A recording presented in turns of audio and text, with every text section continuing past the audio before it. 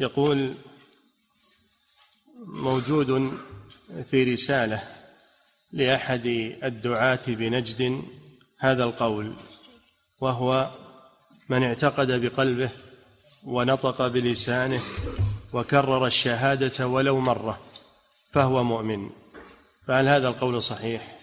لا ما هو صحيح إيش يقول؟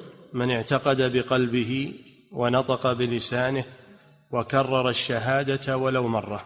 يعني ولو لم يعمل بها؟ ما ذكر العمل. إيه كلام يحتاج إنه يتجاب الرسالة ونشوفها نعم.